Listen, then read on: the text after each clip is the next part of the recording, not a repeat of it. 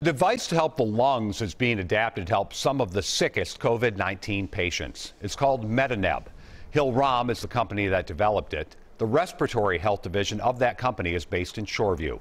WCCO's Jennifer Mayerle shares the significance of the device and how it could be a game changer for some COVID 19 patients. Saving the lives of patients with COVID 19 and finding what works to treat them is at the forefront for doctors and manufacturers around the world. Hillrom discovered their device already in 4,500 hospitals, including most in Minnesota, has the potential to help. We've known that MetaNeb is a great solution for patients that are in the hospital with a heavy secretion burden. MetaNeb is a device typically used on hospitalized patients with pneumonia or those at risk for it.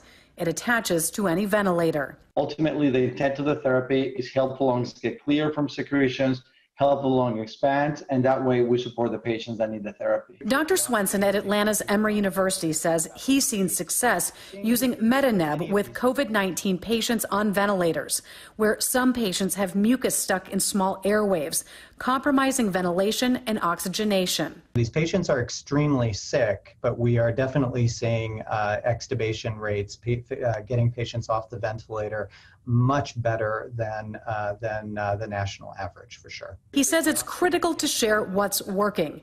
Emory is now studying how this could improve survival and possibly prevent the need for a tracheotomy for ventilated patients. We hope to show that there is a benefit to this technology um, and that what we've seen here is not isolated to uh, to the to uh, to the region, but actually is something that's more generalizable. Hillrom's Minnesota-based Andy Redding says data they've been given shows about 30 percent percent of patients have that mucus buildup.